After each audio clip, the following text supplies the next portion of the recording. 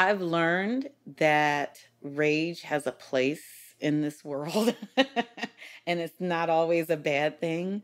That you just get out there and you tell your truth and you stand firm. This is The Pledge, a podcast profiling people who have pledged to engage in our democracy. I'm Allison Daskell Hausman.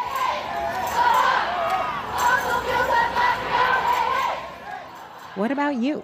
Do you participate in our democracy? Do you want to do more? It would be awesome if you could tweet about your efforts with hashtag Pledge2020. Help spread the word that our democracy is strong. This season, I'm bringing you stories from Virginia. And as a coastal state, it's already bearing the brunt of the climate crisis. They have stronger storms and frequent floods. And I have to say, I felt it when I was there. I was driving across one of the many long bridges one evening in Hampton Roads. There was a furious storm. I saw several bolts of lightning flash in the sky all at the same time. I'd never seen anything like it. My little rent a car was fighting against the wind, and I thought, this isn't even close to a hurricane. People in Southern Virginia experience this kind of thing often. Cale Jaffe, a professor at the University of Virginia Law School who specializes in environmental law, sums it up. Folks who live in Norfolk who now see streets flooding with almost every high tide, and you're seeing that sort of flooding over and over again, all of a sudden people are realizing, oh wow, this is this is really here. That's certainly true for Kim Sutterth. She lives in Norfolk and she's working to confront the climate crisis. It is going to take all of us to fix it.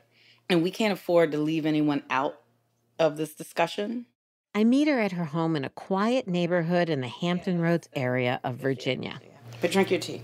the tea is delicious. Do you like it? Okay, I'll put lemon in it. I just I love this tea, and I don't know why we don't we don't eat, drink it up north. You know. Well, yeah, Kim has lived there her whole life. every time I go- It's an area steeped in history. English colonists first arrived in Jamestown in 1607, and the first enslaved Africans were brought ashore in Hampton Roads in 1619. I was actually there on the 400th anniversary. Kim's family lived in Hampton Roads because her dad was stationed there in the Navy. So my little slice of heaven in Hampton Roads is, you know, it's transient because we have the military here. So there's always someone new. And then you have the locals, the mainstays, and you know, we're, we're here to stay. We're not going anywhere. Kim's a mainstay. She's going to be there come hell or high water, which is exactly what they're used to facing. hurricanes are just, you know, it's a fact of life. You know, around early September, we go back to school the day after Labor Day. And then a few weeks later, there's a hurricane. So you get another week off. And I thought hurricanes were awesome, you know, because I get an extra week off of school. But Kim grew up and became a mother. And the hurricanes got stronger. I got really scared because now I've got three kids, an infant, and here's this thing I can't do anything about. I can't make it stay in the ocean. I can't make it turn course. I can't make it not be as strong.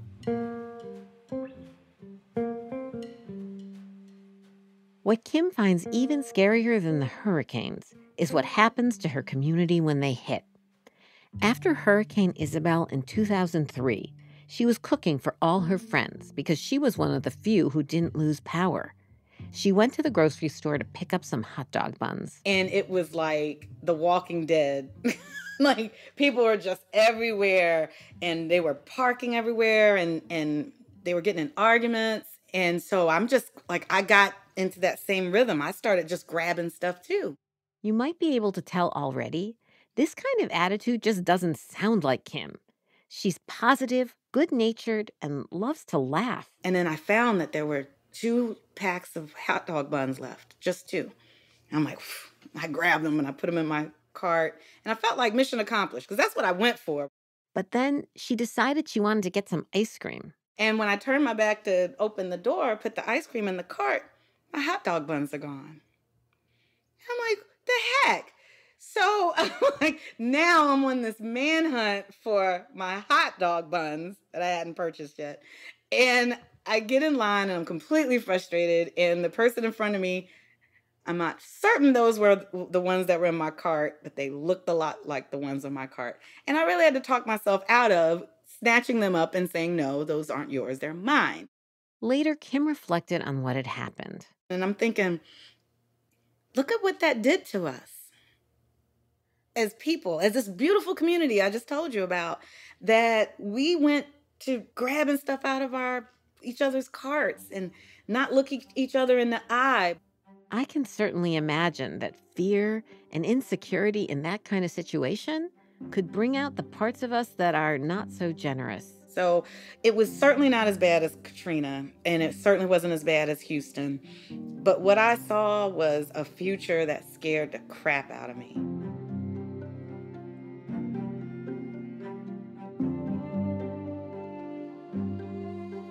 Four years ago, I was on a couch, anesthetizing myself with wine and TV, and doing absolutely nothing, just frozen, paralyzed. Her husband was never home.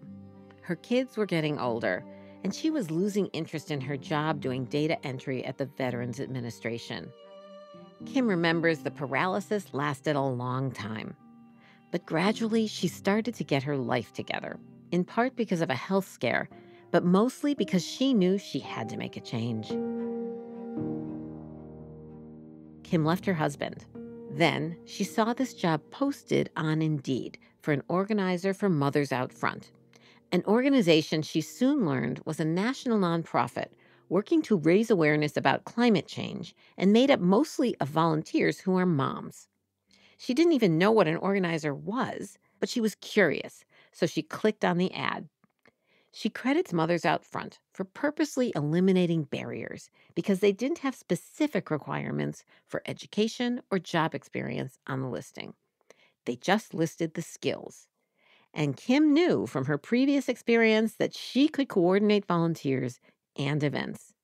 And she knew that she cared about the climate. So she applied. It was the next step in transforming her life. My job is to reveal to these mothers the skills and talent that they've always had. It's just a matter of saying, hey, you can do it. And, you know, I can help. The work is deeply rewarding. She describes the wide range of women she works with, from a resident in a local public housing community to a rocket scientist at NASA. She goes to every event that has to do with the climate crisis, and she ends up talking to everyone. She beams when she tells me about the women getting bolder and bolder. Oh, I love getting a text message saying, Have you seen this crap? We need to blah, blah, blah. And I, I get chills right now where they're just like on fire, where last year they didn't speak above a whisper. But now they're shooting off an email to their mayor. like, no, sir. Not on my watch. Kim's role as an organizer is crucial. The challenges are daunting, and often the people hardest hit have the fewest resources to fight back. Climate change doesn't care about who you are or what you look like or how you identify, but we also know that communities that are black and brown and poor, isolated, elderly, disabled, those are going to be the communities and people who are going to be affected worst and first. So, why shouldn't they be? At the front of the line, telling their truth.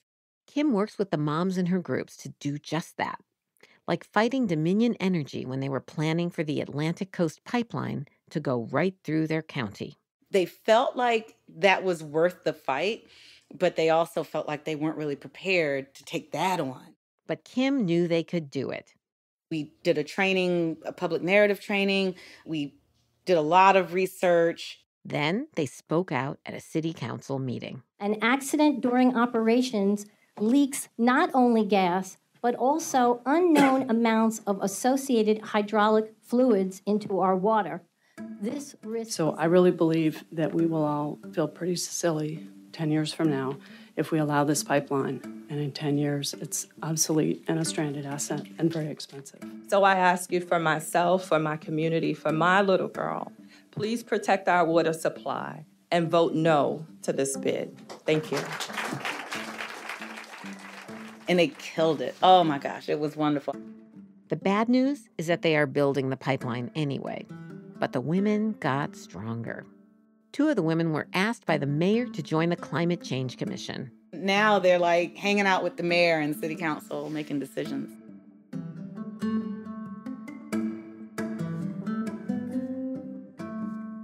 The people I talk to in Virginia know that if we're going to address the climate crisis, we're going to have to do it together.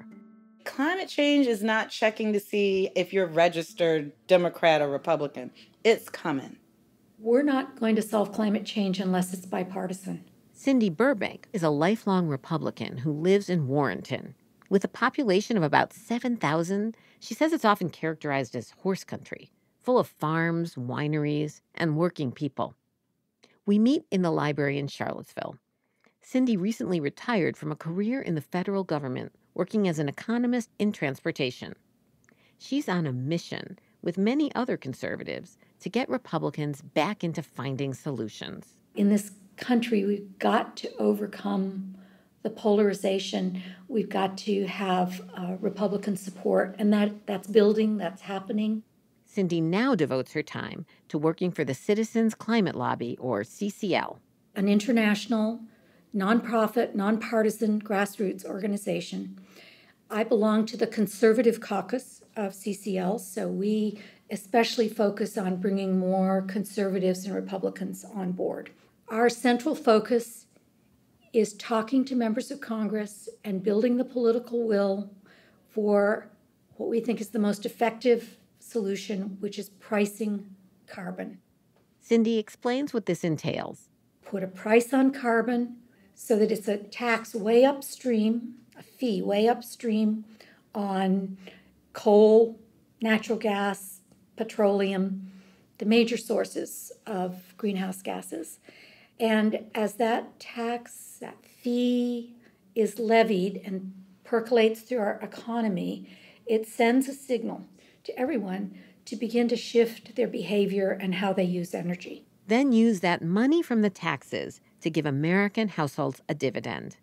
Cindy has a bold vision for the Virginia congressional delegation to lead the country and come together around this carbon tax solution.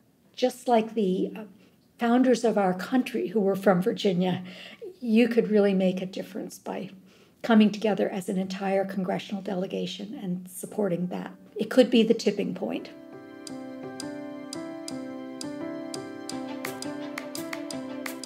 At the same time, the work of bringing people together is making a difference in Virginia and could also lead the country. Kim marvels at how it makes a difference in her daily life.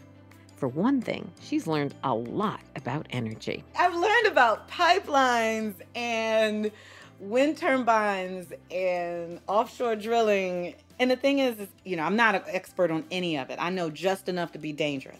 And she's learned a lot about the power and inspiration that comes from people finding the courage to speak out. I've learned that with a little bit of coaching and a little bit of encouragement, people can do some pretty amazing things. And I learned about myself how good that feels to watch someone else spread their wings and take flight.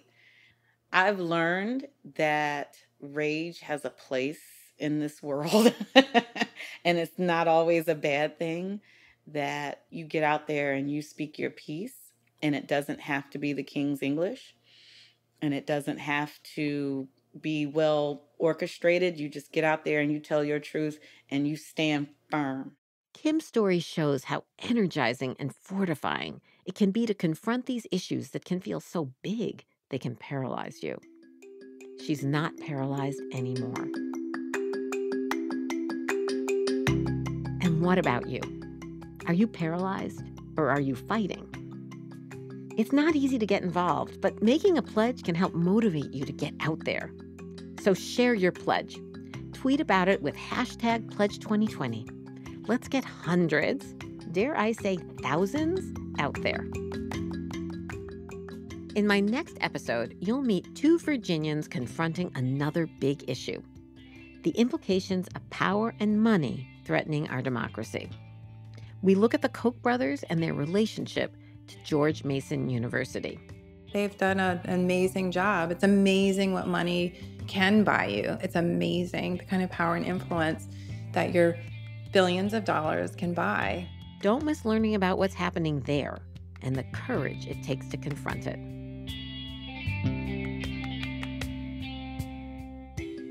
Thanks so much to Kim Sutterth and her commitment to fighting for environmental justice and solving the climate crisis. Thanks also to Cindy Burbank and Cale Jaffe for sharing their perspectives. For more information about Mothers Out Front and Citizens Climate Lobby, go to my website, thepledgepodcast.com, and look at the show notes and transcript. You'll find links to lots of resources and ways to get involved. Thanks also to sound designer Tina Toby Mack. Again, don't forget to tweet your pledge and share this episode with a friend. Until next time, stay strong and stick with your pledge.